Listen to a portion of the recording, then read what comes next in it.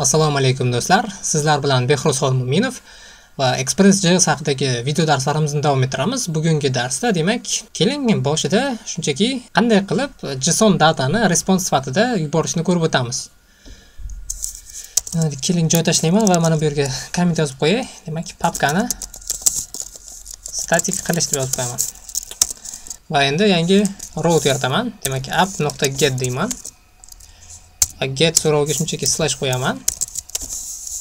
Request va response parametrlarini berib turib demak bitta get so'rovi yasab oldim. Keyin get so'rovini shunchaki slash emas qanaqadir bir api yasaymiz. Api va misol uchun bizga qanaqa api qaytarishi mumkin? Keling books degan api yasaymiz va bizga qanaqadir kitoblar ro'yxatini qaytarsin. Bizda hozir hech qanaqa database ya'ni ma'lumotlar ombori yo'q. Biz bu datani shunchaki hard code orqali yozib qo'yamiz. Keling demak bitta const books degan array yaratib turib uni ichiga qanaqadir buklarni yaratamiz. Va keling hozir qo'lda yozib o'tirib bu narsani vaqt ketkazmaslik uchun tayyor o'zim yozib qo'ygan e, kitoblar ro'yxatini joylashtiraman do'stlar. Demak Ctrl V va menda 3 ta kitob bor. Demak, har bir kitobning o'zini IDsi, name, avtori, ya'ni muallifi va nechta sahifadan iboratligi haqidagi ma'lumotlarni o'z ichiga oladi. Va bu umumiy demak bitta massivni ichida obyektlar ko'rinishida bo'ladi. Demak biz o'shani hozir response qilib jo'natishimiz kerak bo'ladi. Demak response men hozir json formatida jo'natmoqchiman. Shuning uchun expressni res va nuqta json metodiga murojaat qilib turib o'sha demak const booksni ya'ni books parametr ya'ni books o'zgaruvchisini berib yuboraman. Kodni saqlayman demak. Endi serverni ishga tushirishim kerak. Npm demak run dev deb yozsam nodimon demak serverni ishga tushirib beradi. Hozir demak bizda javascript obyekt holatda turibdi. Biz lekin json formatda jo'natishimiz kerak. Esingizda bo'lsa node.js darslarida biz JSON ga o'girish uchun json stringify metodidan foydalanardik. Va hozir bu narsani qilib o'tirishimiz shart emas chunki mana shu json metodini o'zi buni o'z bo'yniga oladi. Ya'ni avtomatlashtirilgan bu narsa. Shunchaki booksni berib qo'ysak yetarli. Va endi do'stlar brauzerni emas endi postmanni ochaman. Postmanni o'tgan darsda aytgandim demak yuklab olish kerakligi haqida va postman orqali biz demak mana bu yerdan so'rovlarni tanlashimiz mumkin. Hozir get so'rovini jo'natyapmiz. Shuning uchun getni tanlayman. Va endi http slash uh, localhost uch minginchi portga get so'rovini jo'natsak uh, bizga hozir hech narsa qaytmaydi chunki routni handle qilmaganmiz.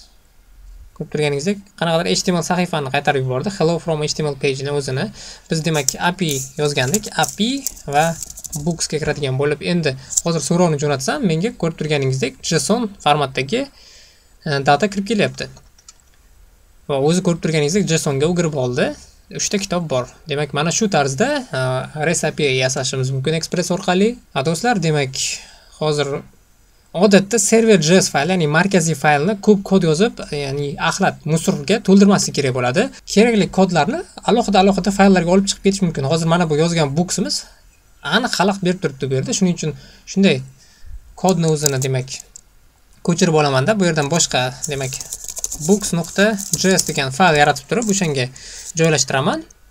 Va undan so'ng modul exports orqali modul nuqta exports books o'zgaruvchisini eksport qilib yuboraman books. Kodni saqlayman. Bo'ldi booksga endi biz qaytib o'tirmaymiz va endi shunchaki const orqali ya'ni booksni bu yerga require qilib olishimiz kerak bo'ladi. Demak books. Bo'ldi demak kodni saqlayman. Server qayta ishga tushdi. Hozir postmanda so'rovni jo'natadigan bo'lsam menga yana xuddi o'sha natija qaytishi kerak. Demak natija qaytdi. Demak ishlayapti do'stlar. Biz shunchaki mana bu yerdagi yozilgan ortiqcha keraksiz kodni boshqa faylga olib o'tib ketdik. Mana shu tarzda demak json formatdagi demak mana shu tarzda json formatdagi javoblarni qaytarishimiz mumkin bo'ladi serverdan do'stlar. Demak davom etamiz. Keling demak kommentariy yozib qo'yay mana bu yerga ham. Get all books deb. Endi bevosita middlewarelarni ko'rib o'taylik. Demak middle waves deb yozaman. Va qanaqadir middleware yarataman. Bu middlewareni shunchaki keling bitta logger yaratamiz. Logger. Middleware deb qo'yay. Logger middleware. Ho'p demak. Const deymanda logger degan bitta o'zgaruvchi olaman va uni funksiyaga tenglashtiraman va funksiya o'ziga endi uchta parametrni qabul qiladi. Bu request response va next parametrlari. Demak birinchi darsda ham aytib o'tgandim expressda middlewarelardan juda ko'p foydalaniladi. Middlewarelar orqali biz request va response obyektlarini request va response obyektlariga dostуп olib uni o'zgartirishimiz qo'shimchalar kiritishimiz mumkin bo'ladi. Demak keling hozir shunchaki konsolda konsol nuqta logda hello deb yozaman. Mana bu yerda hozir strelka qolib ketibdi do'stlar. Demak va middleware tugagandan so'ng middleware logikasi tugagandan so'ng albatta next ni chaqirib qo'yishimiz kerak bo'ladi. Bo'lmasa keyingi robotlarga o'tmay qoladi do'stlar. Yodimizdan chiqmasin demak next ni chaqirib qo'yish kerak. Endi shu logerni initializatsiya qilmoqchiman. Buning uchun demak app nuqta use metodidan foydalanib turib o'sha logerni chaqirib qo'yishim kerak bo'ladi. Kodni saqlayman va endi hozir postmanga o'tib turib yana so'rov jo'natadigan bo'lsam va endi konsolga qarasam hello yozuvi chiqdi. Demak bu middleware ayni mana shu so'rovni tepasida turgani uchun oldin bu bajarilib keyin so'rov bajarilyapti do'stlar. Hello yozuvi shuning uchun chiqdi. Keling loggerga demak haqiqiy logger yozaylik endi. Demak konsolda konsol nuqta logda demak orqa qo'sh tirnoqlarni ochib turib qayerdan so'rov bo'layotganini ya'ni qayerga so'rov bo'layotganini yozib qo'yaman. Buning uchun http demak localhost deb yozishimiz mumkin. Lekin keling Э, demak bu narsaga request orqali ham erishishimiz mumkin. Request oldin demak dollar bilan figurali qavs ochib olamiz. Request nuqta protokol degan metodi bor. To'g'rirog'i bu metod emas demak qanaqadir property свойства endi ikki nuqta qo'yib ikkita slash qo'yaman va yana dollar bilan figurali qavs ochib turib request nuqta get metodini tanlab turib o'sha hostni nomini olib olamiz. Ya'ni local host bizni holatimizda local host bo'lgani uchun o'sha local hostni olib oladi bu yerda. Va undan so'ng yana slash qo'yamanda dollarli qavs ochib turib request nuqta original url ga url murojaat qilaman. Menimcha mana bu yerda slash kerak emas o'zi qo'yib oladi bu slashni. Va undan tashqari do'stlar e, vaqtni ham ko'rsatmoqchiman. Buning uchun demak yana ikki nuqta qo'yib turayda dollar va figurali qavs ochib turib date nuqta nowni bosib qo'yaman. Kodni saqlayman. Va endi hozir postman orqali so'rov yuboradigan bo'lsam do'stlar mana bir necha marta bosaman. Ko'rib turganingizdek ayni bizni hozir qayerga so'rov yuborayotganimizni chiqaryapti va date nowni hozir function deb ko'ribdi ekan. Ha demak mana bu yerda qavslar qolib ketibdi do'stlar. Kodni qaytadan saqlayman endi. Va yana qaytadan so'rov jo'nataman postmanda. Ha kechirasiz do'stlar. Demak date now bu bizga millisekundni qaytarardi farz qilib. Demak new date qilishim kerak bo'lardi. New date.